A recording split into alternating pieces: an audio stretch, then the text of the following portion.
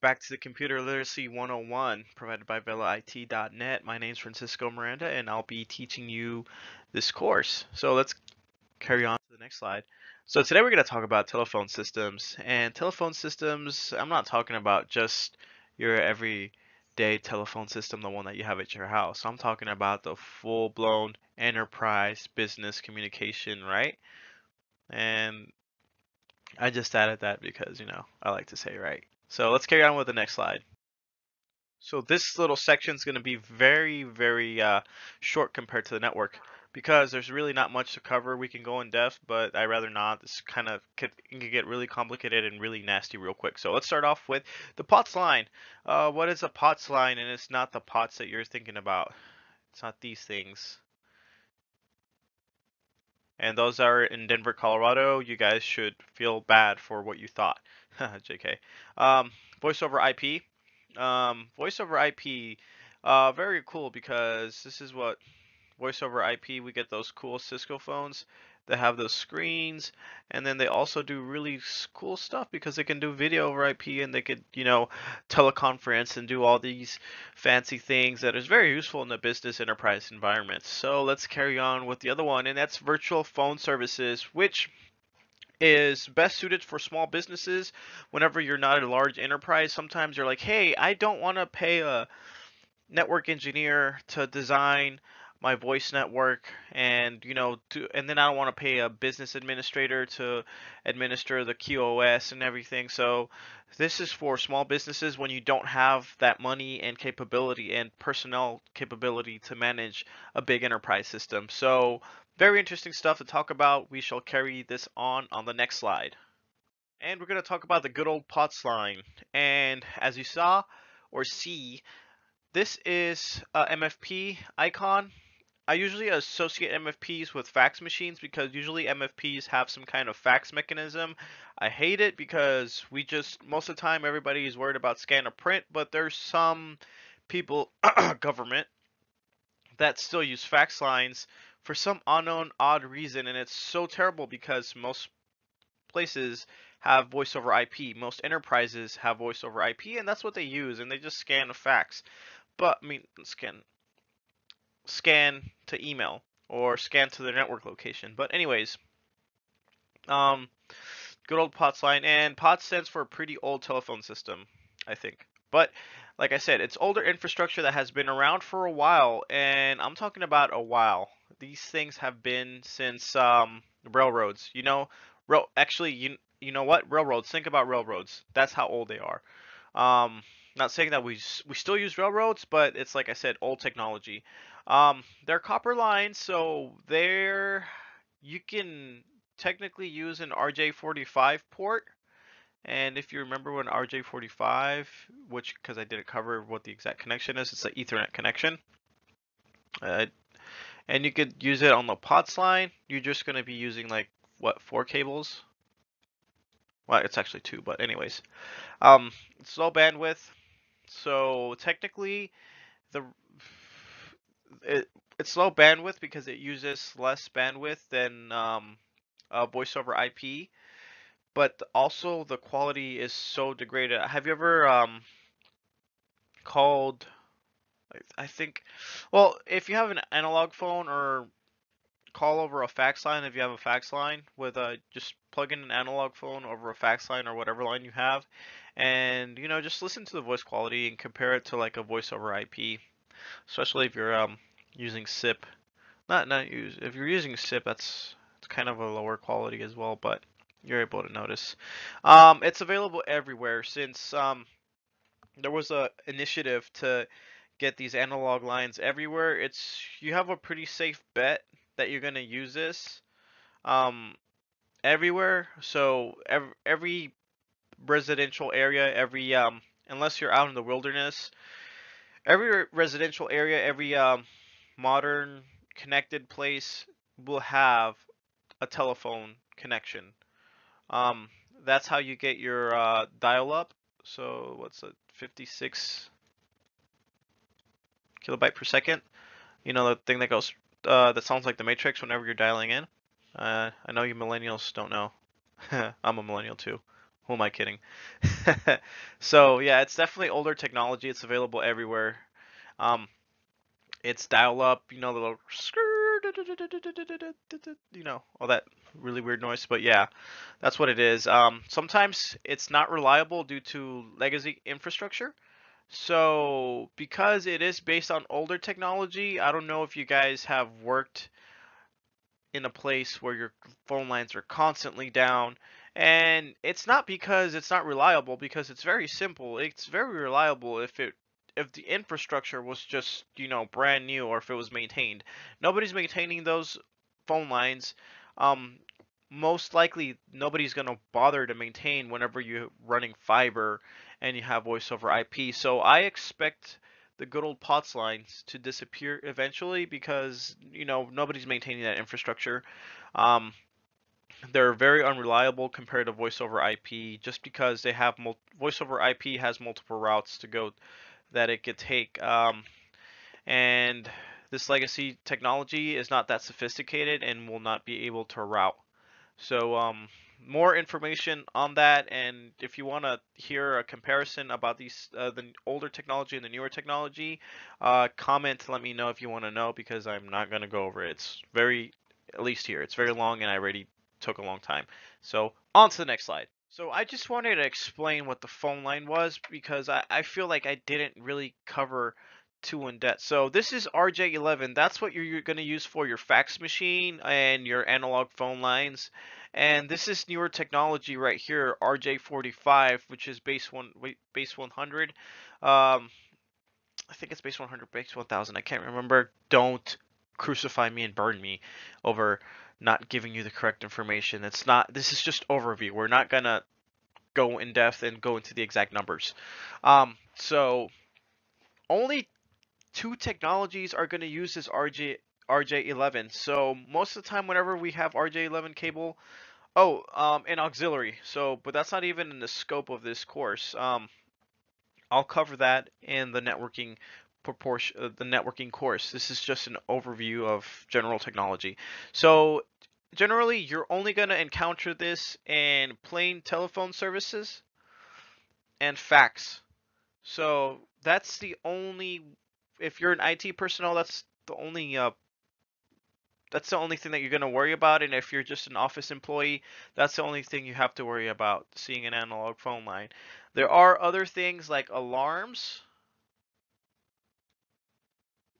This is my best alarm, you know, that use lines, use phone lines, they dial out, they use a dialer, and it dials a number, uh, whatever, dials a number out, so alarms use that, um, batteries, so we have some batteries that use phone lines as well, so like, hey, battery's low, your system's about to shut down, it dials out, but that's way over the scope. We're not gonna. This is that's very specialized, very rare. So let's carry on to the next one.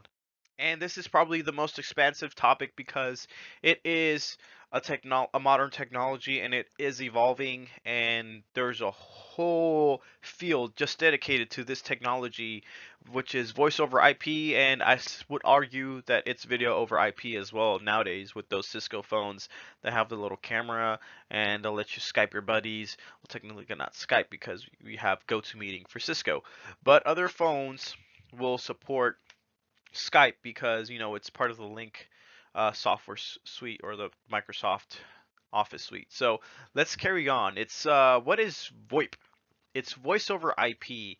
So we're using voice, which we're going way past the 56 uh, kilobits per second that is allowed on a traditional line because what you're using Ethernet lines, which is RJ45, which have a larger bandwidth. Therefore, we're using the TCP IP protocol and I didn't read my bullet points. So let's go. So uses the internet connection and protocols to send voice data.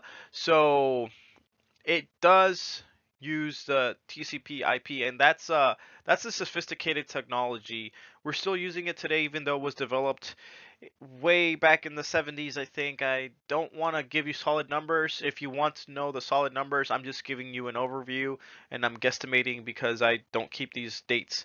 But it was developed back in the 70s, somewhere around there. It's a it's a military project, and then it was introduced to universities, and then you know we have the internet.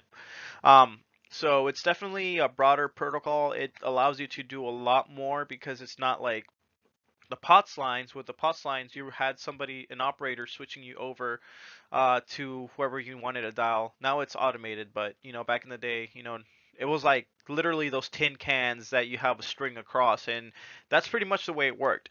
And with TCP/IP, we have routing. We have things like routing. We have a lot of sophisticated uh, technology like redundancy, so much and we could talk about it in quality of service, shaping, all this, but we're not going to cover that. This is just think about like, hey, there's a lot of possibilities we can do because now it's on the on the TCP/IP protocol.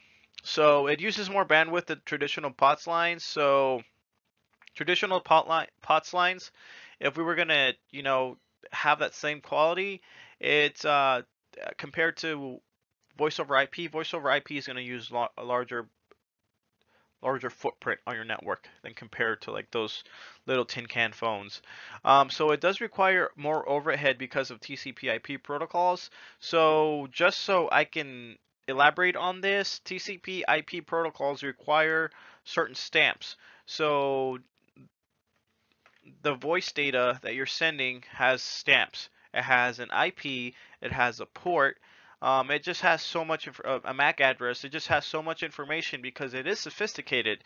So it it can be sent through a network and it needs to know where it's going to go. So it does have additional data that it requires just because it's using the TCP/IP protocol.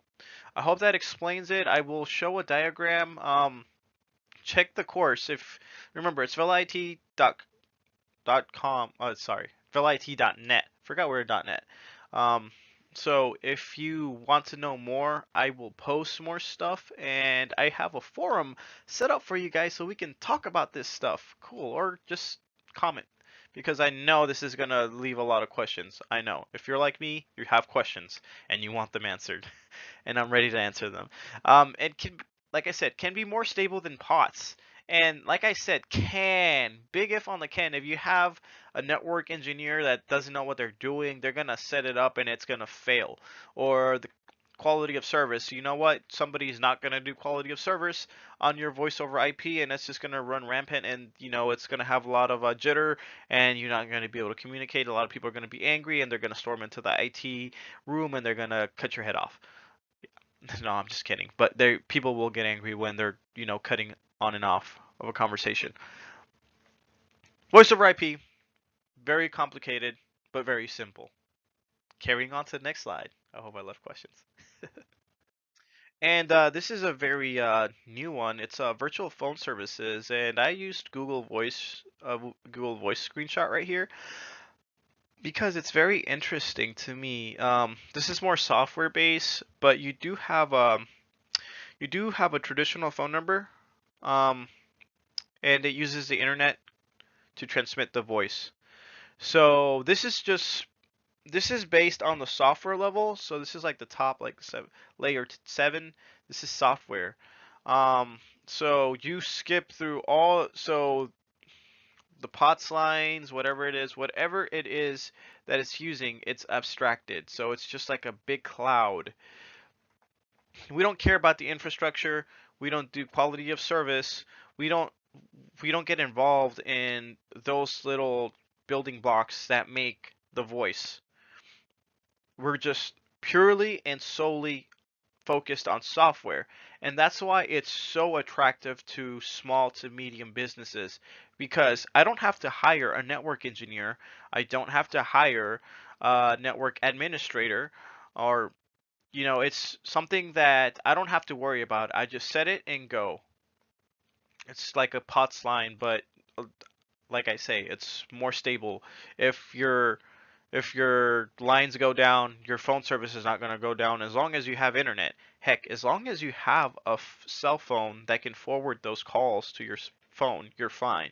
Like I said, it's more stable, and I would definitely recommend it for small to medium businesses. Uh, Google Voice is probably it's only going to give you one number. Uh, you have stuff like Grasshopper, and there's more. You could Google search uh, virtual phone services.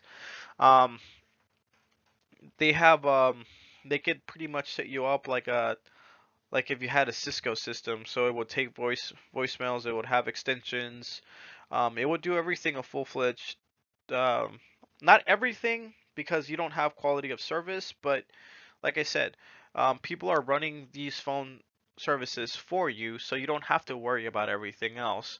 So it's uh, like I say, it's software as a service. Um, we can go into detail on this.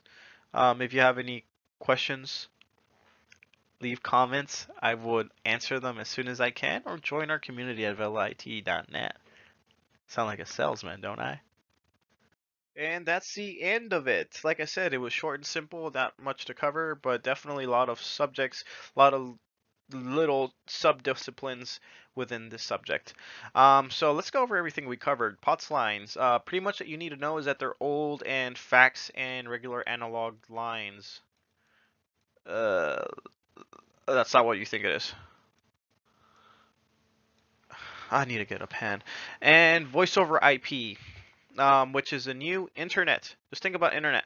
Internet. And voice uh, virtual phone services. And just think about software that lets you call people. That's all it is. Um, like if you guys like this content, hit the little sailing boat right here and subscribe to our channel if you were happy and satisfied like this happy guy over here. That's me right here. That's me today. I am ready to get today going and I have so much stuff planned for you guys. Thank you again for listening through all this.